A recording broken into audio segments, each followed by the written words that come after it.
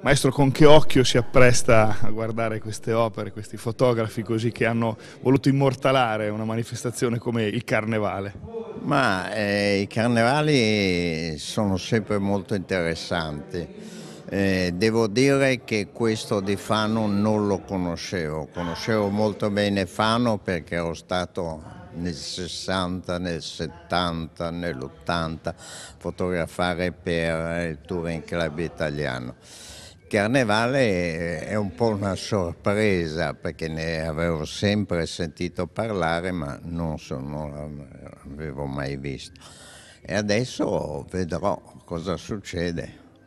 Dal punto di vista di un fotografo, il carnevale che occasione rappresenta? Che cosa potrebbe rappresentare? Ma eh, dipende da carnevale a carnevale. Devo dire che il carnevale di Venezia non mi piace molto, da veneziano e anche da fotografo, perché non mi piacciono i carnevali che l'uomo non si vede, hanno solo le maschere e, e, sembra tutto finto. Mentre io ho fotografato molto il carnevale di Monaco, di Baviera, che a Monaco per esempio è proibito mettere le maschere, puoi mettere i costumi, puoi agghindarti come vuoi, ma non devi, ed è molto più umano, più, più, più vero.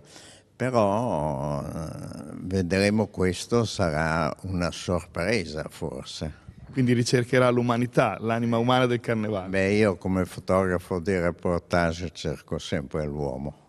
Allora, l'atto un po' conclusivo di tutto quello che è stato il, il, volume enorme di fotografie scattate in questo carnevale, voi vi siete posti l'obiettivo di cercare la migliore di tutte?